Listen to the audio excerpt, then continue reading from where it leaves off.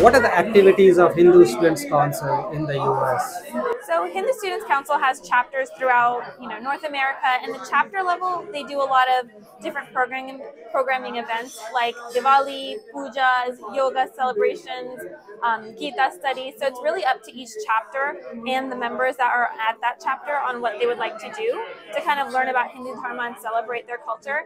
And at the uh, nonprofit level, we host a lot of different events, retreats, um, camps, and conferences where we really help young people learn about their identity and um, feel empowered and also give them a lot of leadership tools to help them be able to run their chapters better and also be good leaders for tomorrow you know, in, in general, whether they enter the field in business or politics or education, we want to develop young Hindus into good leaders.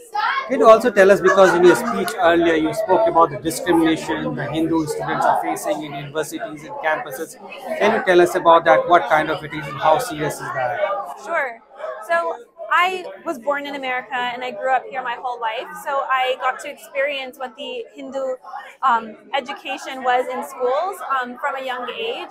And the education that we're taught about Hindu Dharma from a young age is that, you know, Hindus uh, worship cows, eat curry, um, have the caste system, and, you know, just really ridiculous things. I was taught when I was younger that Hindus don't eat um, beef because we think our ancestors are cows. You know, things like that are just completely absurd. And so, what we try to do is teach young people about Hindu Dharma and what it actually means. And so that when they do hear this kind of misinformation at, from coming from their teachers or their professors, that they have the knowledge and the ability and the pride to be able to go up to their professor or their teacher and you know kind of let them like this is actually not what we do and this is not what I grew up learning about. This is actually misinformation. Um, here is the correction. And, you know, we don't want them to just feel like they can do that with their teacher. They should be able to go up to the Board of Education and also say the same thing. You know, this is, I am Hindu and let me explain to you what I believe in. Uh, can you give us some examples of discrimination against the Hindu students in campuses in recent past, which you have taken up? There are examples in the recent past of Hindu students being discriminated against in universities. So, for example, in Northeast, Northwestern, Northwestern University. So in North, I want to start over. So in Northwestern University, we had uh, students that were told that Hindu students fund terrorism activities.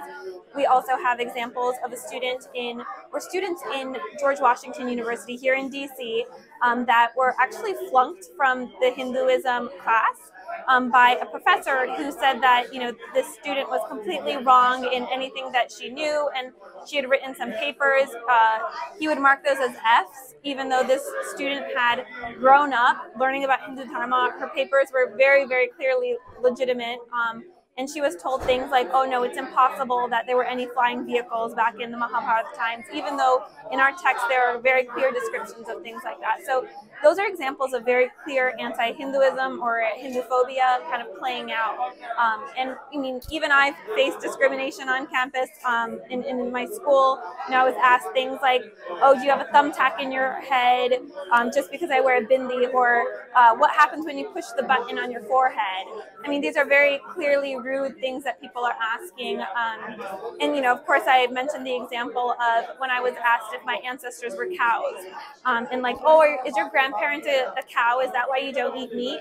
Um, so things like that have always come up. You know, there have been people in my childhood that have tried to convert me into different religions and you know, there was a time when I was at the Mandir and someone came by all of our cars and put leaflets that uh, demonized Ma Kali and made her look like she was, you know, a horrible thing. And, you know, you need to convert away from Hindu Dharma and become Christian just so that, you know, you could, you don't have to worship this like demonic person.